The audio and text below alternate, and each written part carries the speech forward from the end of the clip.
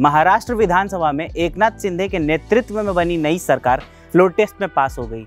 शिंदे को कुल एक वोट मिले, जबकि महाराष्ट्र विधानसभा में एमवीए महाविकास अघाड़ी को सिर्फ़ निन्यानवे वोट ही मिले। हैरानी की बात यह है कि स्पीकर के चुनाव में विपक्ष को 107 वोट मिले, लेकिन आज ये आंकड़ा घटकर सिर्फ़ निन्यानवे हो गया। कई विधायक वोट के लिए आ ही नहीं, जबकि शिवसेना के एक और विधायक संजय बांगर रविवार को देर रात ताज प्रेसिडेंसी होटल पहुंचकर एकनाथ शिंदे के गुट में शामिल हो गए। एक खास बात और रही, जब विधानसभा में फ्लोर टेस्ट की वोटिंग चल रही थी, तब ईडी ईडी के नारे लगाए जा रहे थे।